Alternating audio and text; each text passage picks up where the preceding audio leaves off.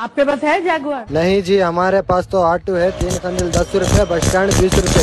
आना है तो बैठो, नहीं तो खुदा फिर